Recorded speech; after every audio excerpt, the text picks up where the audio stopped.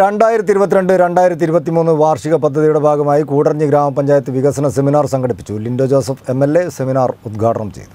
കൂടരഞ്ഞി ഗ്രാമപഞ്ചായത്തിൽ പതിനാലാം പഞ്ചവത്സര പദ്ധതിയിൽ ഉൾപ്പെട്ട രണ്ടായിരത്തി ഇരുപത്തിരണ്ട് രണ്ടായിരത്തി ഇരുപത്തിമൂന്ന് സാമ്പത്തിക വർഷത്തിൽ നടപ്പിലാക്കാൻ ഉദ്ദേശിക്കുന്ന വാർഷിക പദ്ധതിയുടെ രൂപീകരണത്തിന്റെ ഭാഗമായുള്ള വികസന സെമിനാറാണ് സംഘടിപ്പിച്ചത്. സെമിനാറിൽ പതിനാല് വിഷയ ഗ്രൂപ്പുകളായി തിരിഞ്ഞ് പദ്ധതി നിർദ്ദേശങ്ങളുടെ അന്തിമ രൂപരേഖ തയ്യാറാക്കി അവതരിപ്പിച്ചു. കൃഷിക്കും ടൂറിസത്തിനും ചെറുകിട സംരംഭങ്ങൾക്കും മുഖ്യ പരിഗണന നൽകി അടിസ്ഥാന സൗകര്യ വികസനത്തിനും നികുതി വർധനവിനും വിവിധ ക്ഷേമ പ്രവർത്തനങ്ങൾക്കും ഊന്നൽ നൽകിയുള്ള പദ്ധതി നിർദ്ദേശങ്ങൾ അംഗീകരിച്ചു. കൃഷിയിടത്തിനു ചുറ്റുമുള്ള സൗരോർജ വേലി സ്ഥാപിക്കൽ ഗ്രാമപഞ്ചായത്തിന്റെ ആസ്തി രജിസ്റ്റർ കാലികമാക്കൽ മഹാത്മാഗാന്ധി ദേശീയ തൊഴിലുറപ്പ് പദ്ധതിയുടെ നഴ്സറി കൃഷിക്കാർ ഉൽപ്പാദിപ്പിക്കുന്ന ഉൽപ്പന്നങ്ങൾ വിറ്റഴിക്കാനുള്ള ആഴ്ച ചന്ദ്രയുടെ നിർമ്മാണം ഫാം ടൂറിസം കൂടലിനി ആസ്ഥാനമായി സ്പോർട്സ് വില്ലേജ് എന്നിവയാണ് പ്രധാന നിർദ്ദേശങ്ങൾ.